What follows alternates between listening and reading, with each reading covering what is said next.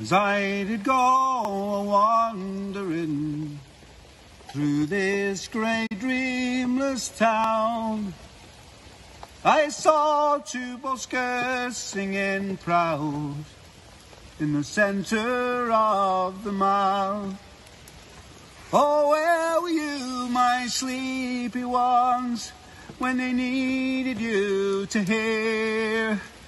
Their crystal chimes of innocence ringing loud and clear. Oh, take me back to Eden, to my childhood shining days, and sing the songs of freedom.